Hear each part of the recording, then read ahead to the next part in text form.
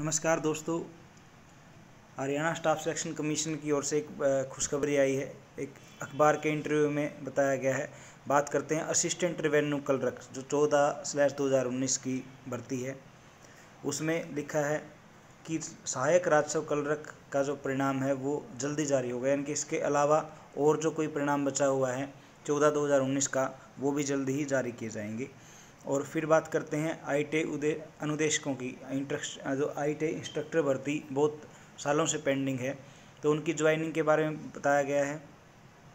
इसमें कहा गया है कि अभी परिणाम जिन जारी हुए थे, उनको ज्वाइन नहीं करवाया जा इसके पीछे क्या कारण है? तो उसमें बताया कि चयनित उम्मीदवारों के दस्तावेज़, अनुभव, प्रमाण पत्र पहले तो आयोग परख रहा था, अब विभाग परख रहा है। यानी कि वो चेकिंग चल रही है।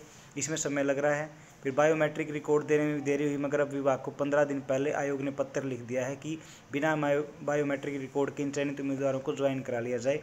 उन्होंने कहा कि बाईस चयन चयनित उम्मीदवारों में से अधिकतर की ज्वाइनिंग हो गई है। अनुभव प्रमाण पत्रों की जाँच में विभाग को समय लग रहा है। ठीक है तो ये बात की गई है इसके बारे में।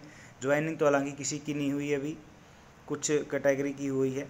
तो बाकी जो वेट कर रहे हैं, उनके लिए बताया गया है ज्वाइनिंग जल्दी होगी। और जो पेंडिंग रिज़ल्ट हैं इसमें तो 24 कैटेगरी में से कह रहे हैं कि 16 कैटेगरी का जो रिज़ल्ट है, वो नवंबर के महीने में ही जारी कर देंगे हम। यानी कि इन्होंने बताया कि 2200 परिणामों जो पदों का परिणाम है, वो जारी कर दिया है। अब लगभग 24 कैटेगरी में हज़ार पद रहते हैं, जिनका सोलह कैटेगरी हैं, उनको इसी महीने निपटा देंगे और बाकी आठ कैटेगरी जो उसमें टाइम लग सकता है। तो आई टी निदेशक और चौदह स्लैश दो हज़ार उन्नीस में जो असिस्टेंट रेवेन्यू कल रखे, उसके लिए ये बड़ी खुशखबरी थी कि अगर टाइमली ये काम कर दें तो नवंबर महीनों में कई घरों में जो है खुशियाँ आने वाली हैं। ऐसी अपडेट के लिए बने रहे नीजू क्लासेज के साथ। धन्यवाद।